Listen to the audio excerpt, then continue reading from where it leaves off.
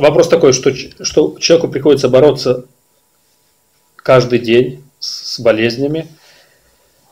Начинаешь молиться и говорить слово, и эти болезни проходят, но затем, через некоторое время, опять приходит какая-то, ну, какое-то другое искушение, может быть, немощь какая-то. И вопрос, почему это, это постоянно происходит? То есть это что-то не так,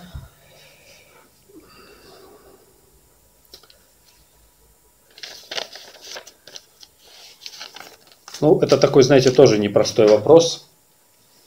Я вообще заметил, что на некоторые вопросы очень сложно однозначно ответить, потому что как бы на некоторые вопросы, чтобы ответить, это надо, наверное, 5-6 часов.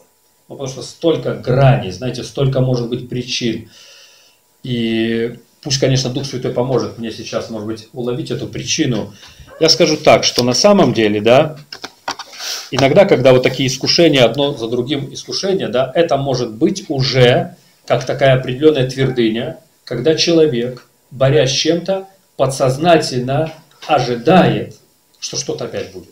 Вот я встречал таких людей, знаете, которые вот верят, что у них какие-то пустыни будут, что какие-то трудности, что э, э, всякими скорбями надлежит войти в царство.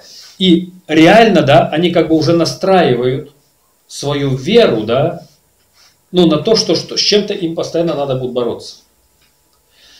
Это одна может быть причина. Вторая может быть причина, что может быть все-таки не стоит на некоторые вещи вообще обращать внимание. Знаете, дьяволу в чем-то нравится, когда кто-то с ним постоянно борется. А надо понять, что Иисус его уже победил. И наша борьба в чем заключается основная? Стоять в том, что Господь уже дал, и, и некоторые вещи надо просто игнорировать. Понятно, что ты, ты, ты, ты, ты, ты, ты например, там что-то у тебя потянуло, где-то что-то заболело, и понятно, что ты говоришь слово туда. Ты говоришь, ранами Иисуса есть исцелен. Это все ложь, я разрушаю эту ложь. И знаете, как вот я тоже видел, что некоторые люди думают, что чем больше молитв, тем, тем как бы, ну, тем лучше. Или, например, если кто-то подходит, у него рука болит, ну, такая короткая молитва нормально. Но если плечо болит, то ты уже как бы издеваешься над ним короткая молитва. Это же уже плечо. То есть молитва должна быть длиннее. Но если нога, то это хотя бы 10 минут. Тоже вообще. Это только мне это самое. Поэтому смотрите, это, это опять-таки, то есть вот это наши такие понимания. То есть мы как будто считаем, что Господу здесь легче, тут ему труднее, а здесь он как бы говорит, давайте, ребята, через три года. То есть не надо вот на такие вещи настраиваться. То есть я вообще считаю, что молитва, вера это короткая молитва. Ну, понятно, что кто-то, вообще-то у каждого свой дар, у кого-то в духе он долго промаливает, да. Поэтому я иногда, знаете, смотрю, что некоторые верующие верят, что вот, что чем чаще они помолятся, да, нет, тебе надо просто принять. Принять, да, и как бы ходить в этом. Особенно есть люди, которые реально, они, они стараются жить святой жизнью. У них все нормально, как бы, да. И как бы нет никаких причин переживать о чем-то или не доверять Господу. То есть просто стань в вере, да. Может быть, не обращай внимания. Э, делай то, что ты обычно делаешь. Ну, может быть, некоторым, конечно, возможно, надо сходить к врачу. Ну, потому что, смотрите, вера это, это не то, что ты искусственно придумал, да, может быть, не, не достает веры. То есть, а еще бывает так, что дьявол, он искушает, и на самом деле там нет никакой причины.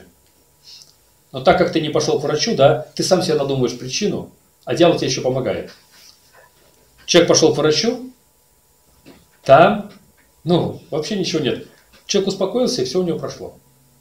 Это я даже помню даже, да, я не хочу сейчас конкретно даже знаю здесь, кого-то могу назвать, кого что-то болело, пошли к врачу, там ничего нету, успокоились, и все перестало болеть. То есть есть такие случаи, да. А, поэтому я, например, не хочу, чтобы мы слишком много давали такой какой-то способности дьяволу. Все-таки Бог, он сильнее. Поэтому э, тому человеку, который написал это, я скажу, что больше не будет никаких таких искушений, Господь целитель. Все. и, и, и просто, просто успокоиться. И знаете как, еще есть вот такая религия, когда, например, человек, он впадает в такую крайность, вторую, что он уже не делает никакие свои дела домашние, там, которые то, что нужно. Он постоянно пребывает в молитве, в духе, там, вот это, что ему кажется, что как только он ослабит эту хватку, дьявол тут же как бы начнет ему какие-то козни. Это опять-таки вот эта религия. То есть делай все свои дела, живи такой нормальной жизнью, молись в то же время, читай. Просто живи.